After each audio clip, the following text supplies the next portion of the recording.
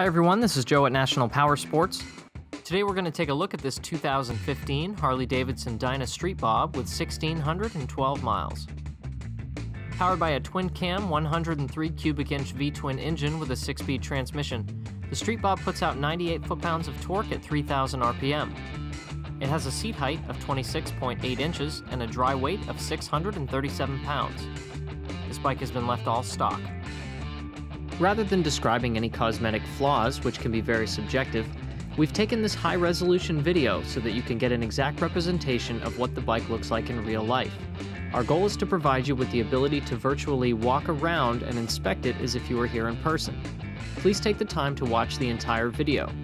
If you have any questions about this vehicle, our sales team can be reached at the number provided at the end of the video.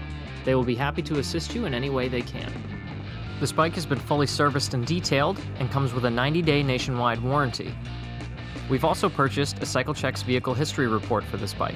You can view the report by clicking the link on the right side of the screen.